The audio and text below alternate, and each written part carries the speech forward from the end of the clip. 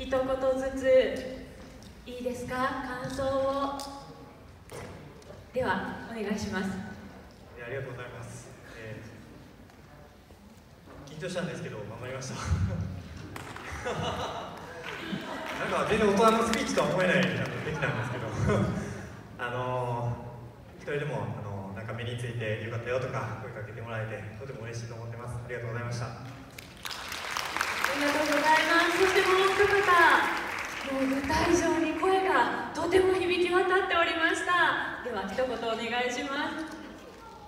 えーと、ご覧いただいた、えー、お客様方そしてスタッフの方々、えこちらで待機されている次踊ってくれるあのチームの方々も手拍子くださって見てくださって、えーと、本当に楽しく踊らせていただくことができました。ありがとうございました